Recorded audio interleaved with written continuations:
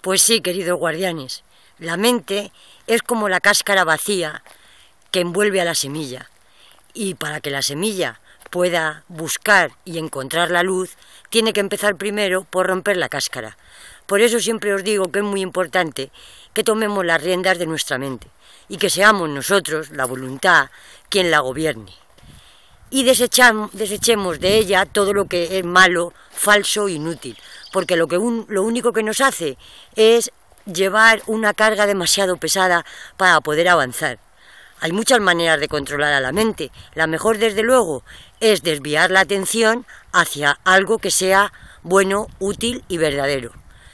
Pero tenemos un arma muy poderosa, que es la respiración. A través de la respiración podemos conseguir que la mente se silencie. Hablaremos de ello a lo largo de esta semana. La madre es la gran maestra.